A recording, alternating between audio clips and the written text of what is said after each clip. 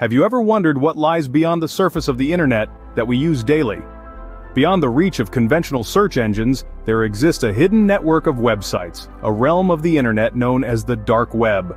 The dark web, contrary to what some may believe, is not a recent phenomenon. Its inception can be traced back to the early 2000s with the advent of Freenet, a peer-to-peer platform for censorship-resistant communication. This was the first stepping stone in the evolution of the dark web. Then came the Onion Router, or TOR as we know it today, a free software enabling anonymous communication.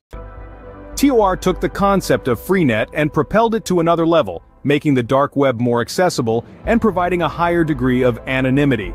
So what makes the dark web intriguing? The dark web offers a level of privacy and anonymity that is unmatched by the surface web. It is a place where identities are concealed, where individuals can browse without leaving a digital footprint. It is, in essence, the internet's cloak of invisibility. However, like any powerful tool, the dark web can be used for both good and ill. It has become a sanctuary for political dissidents and those seeking to evade oppressive regimes. It provides a platform for whistleblowers, journalists, and individuals who value their privacy in an increasingly transparent world. Yet, the dark web's anonymity also makes it a haven for illegal activities.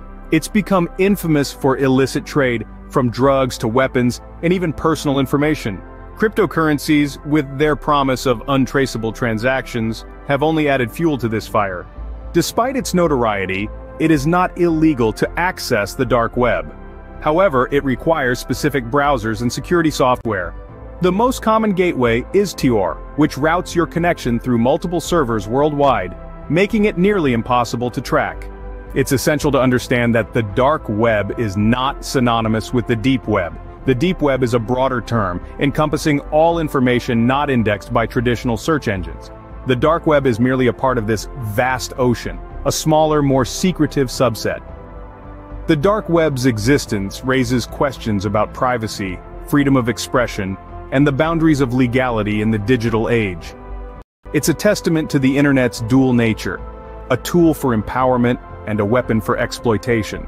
In conclusion, the dark web, born from the minds of those seeking a freer internet, has evolved into a complex and fascinating realm. It's a reflection of our society embodying both its light and shadows. It serves as a reminder that, just like the real world, the digital world is also a place of contrasts, where the lines between right and wrong are often blurred.